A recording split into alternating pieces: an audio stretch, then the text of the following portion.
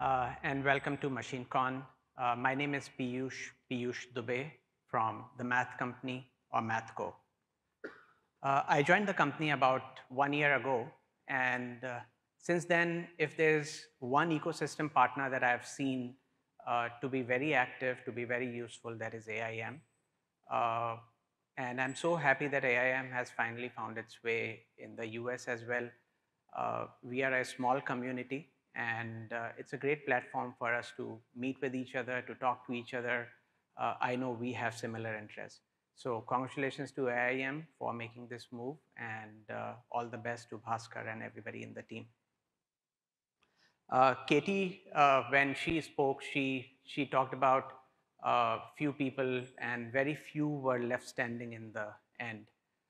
what I'm going to talk about is, as the math company, we have been working with few of those leaders and for all the rest of us who are sitting uh, to figure out what is it that some of the initial use cases can be uh, beyond the hype, what is it that we can do.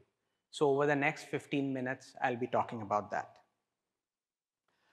A little bit about the math company. Uh, we were founded in 2016, uh, headquartered in Chicago and Bangalore.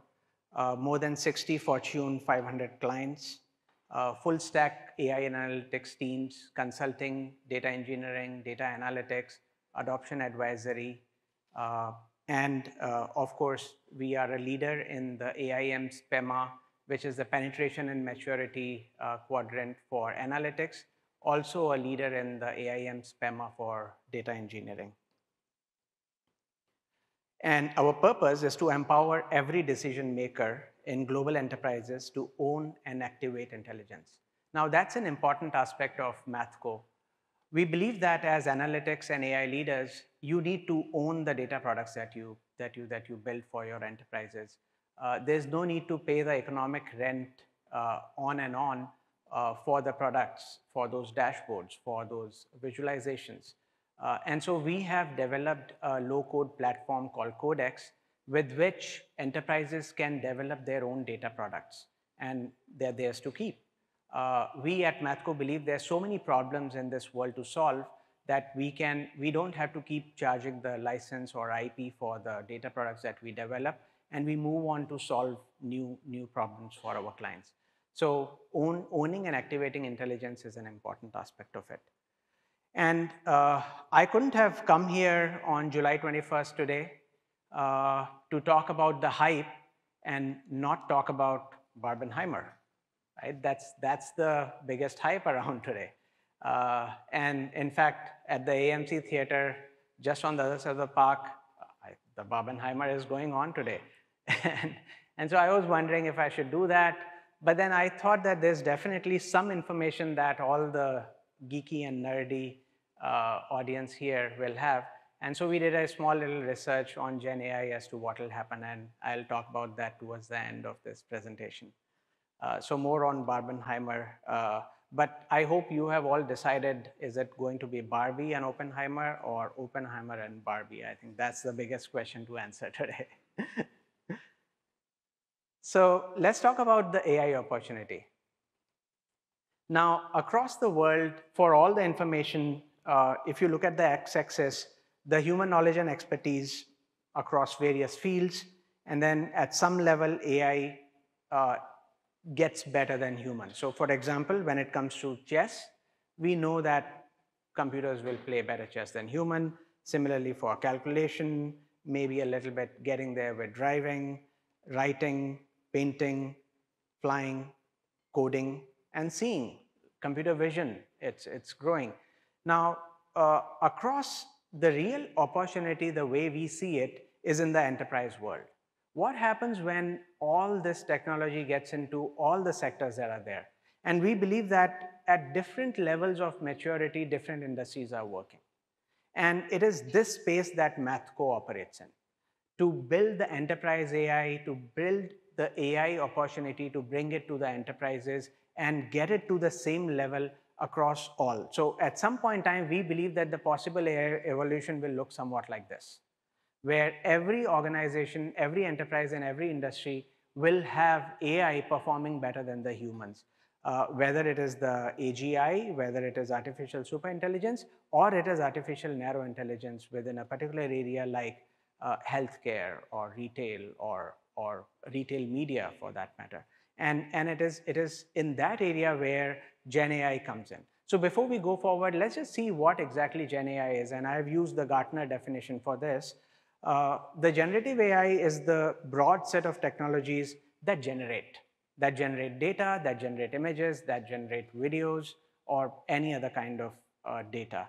And within that, the foundation models are the ones, and there is a typical foundation model, transformer architecture, which has become more popular because it is more accurate.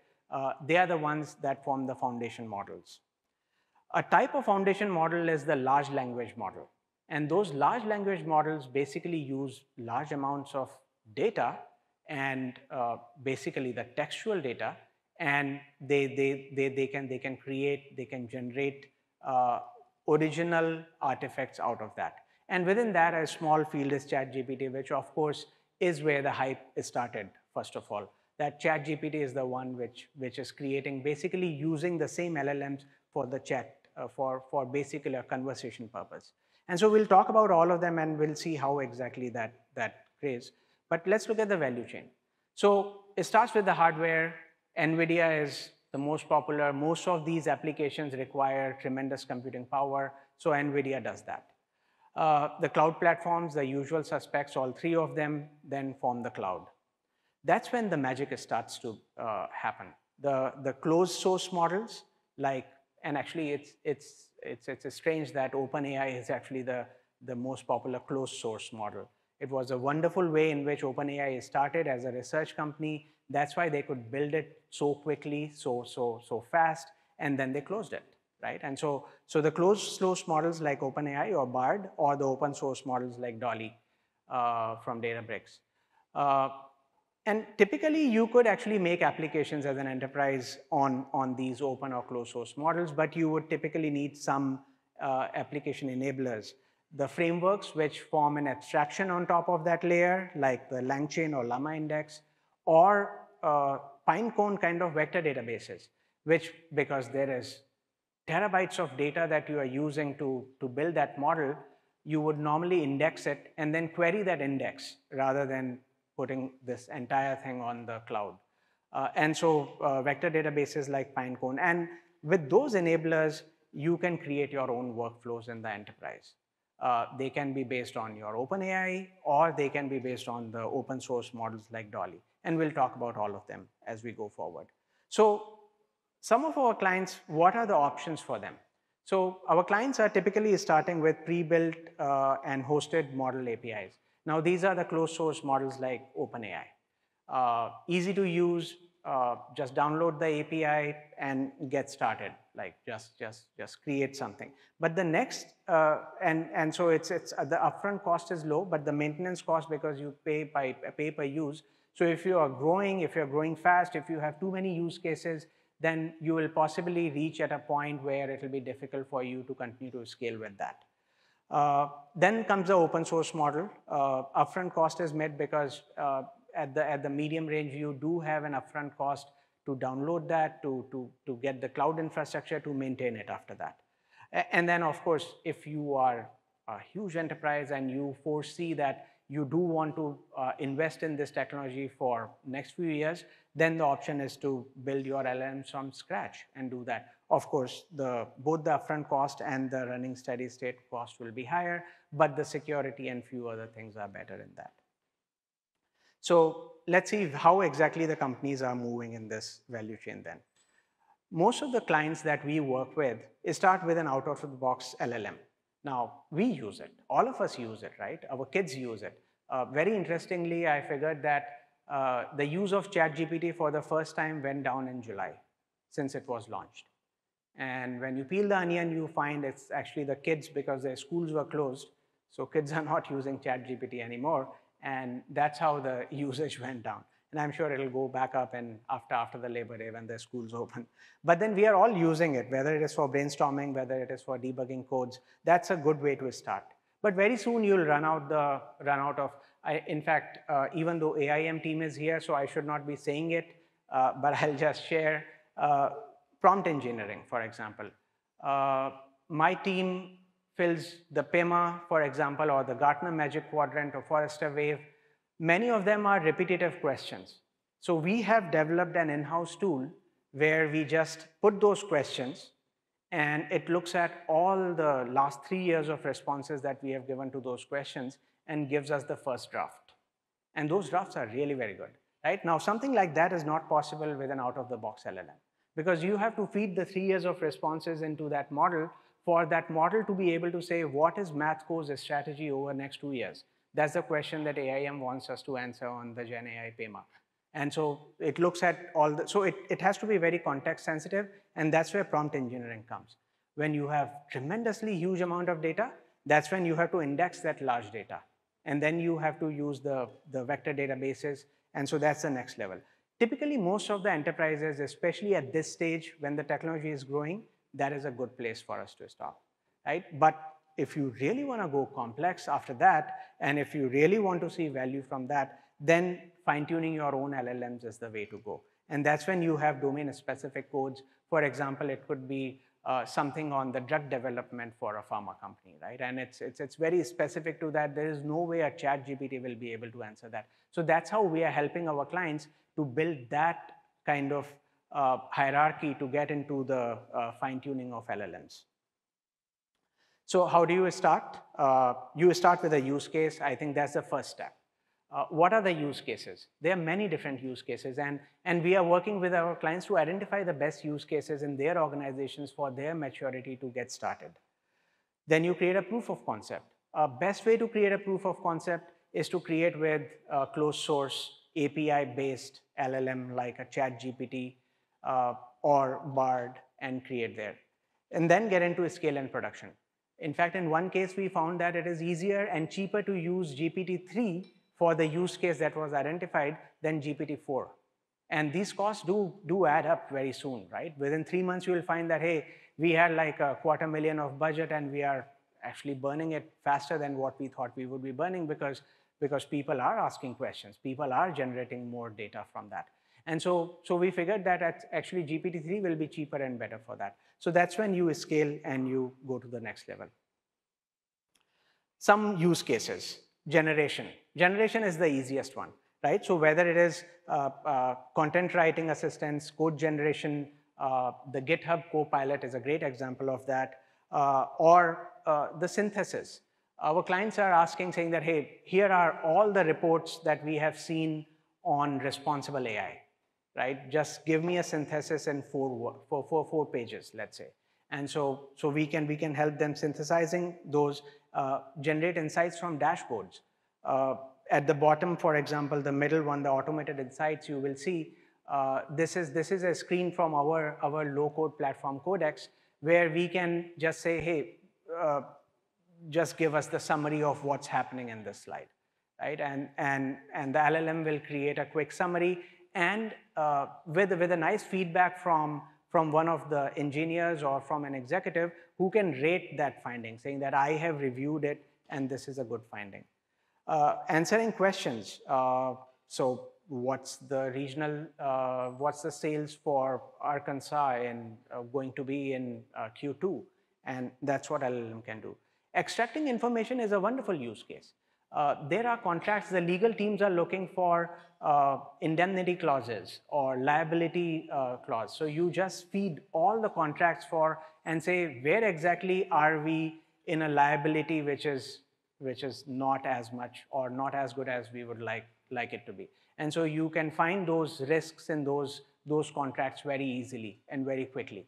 So extracting information or the text categorization, in, in fact, even including new categories that you have to create.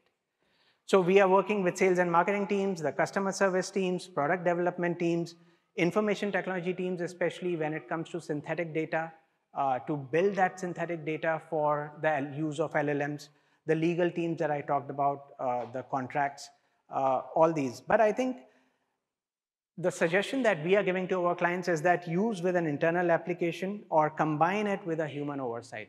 It's very easy for ChatGPT to, to come up with a mail an email for all your 10,000 customers, but that's not a great use case.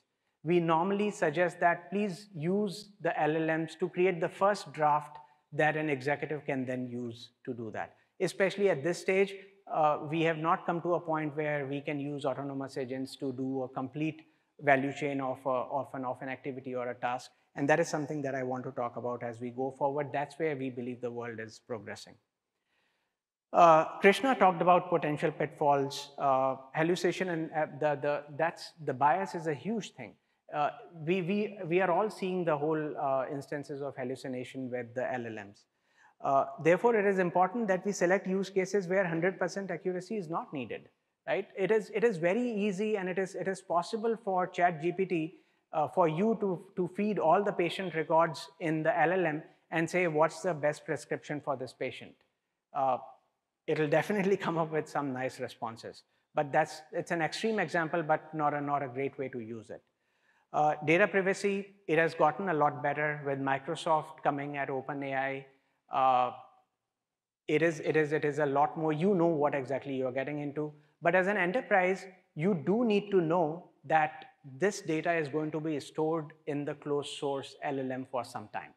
That, that, that, that knowledge, that acknowledgement is important for you to have. Uh, and finally, of course, the cost. The closed source models go by pay per use, and the open source models will have a higher upfront cost and a maintenance cost, but possibly will be uh, more secure in the long run. Uh, some accelerators that Mathco has, which can help you create the templates for uh, consulting for a strategy, which can help you for foundation, for tooling, uh, something that we can help you. And uh, the, the, the, the beauty of uh, LLMs will come when it goes into the entire structure, right from the foundation of engineering to, to the intelligence, the analytics layer, to the business value layer where the executives use it, and then the CXOs use it, right? And imagine for all the activities, accessibility, recommendations, execution, and planning, if you could use that. That's, that's the level five of this, so to say. And that's, that's where we are seeing, and of course, no, there, there are no enterprises which are at that level yet. It's a new technology, but that's where we are helping our clients go. So like I promised, I'll end with the Barbenheimer. Uh, we, we looked at uh, the opportunities and, and what is what is happening here with the hype. Uh, so you know Barbie is winning, by the way, uh, both in terms of mention and reach, but then please don't forget, there are millions of kids who are searching Barbie without the movie as well. So at least personally, I believe that is, that is also happening here.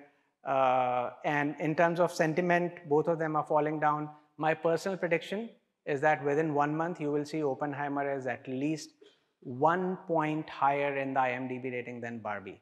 Uh, maybe we should, we, should, we should meet once again after one month and see whether it was right or not. I'll end with this last slide. We have a GenAI workshop uh, that we work with our clients for. Uh, if anyone is interested, we can plan that. You just have to scan this QR code. It'll lead you to a nice little page where with a small information you can, you can, you can just set up this workshop and uh, I will personally be involved with every single workshop along with some of our experts. During the day today, we have my colleagues, Sean, who is the Chief Growth Officer at Mathco, and Russell, who is the Head of Business Development. So please do come by and look us up. Uh, very happy to talk to you and uh, happy to help you own your intelligence. Thank you.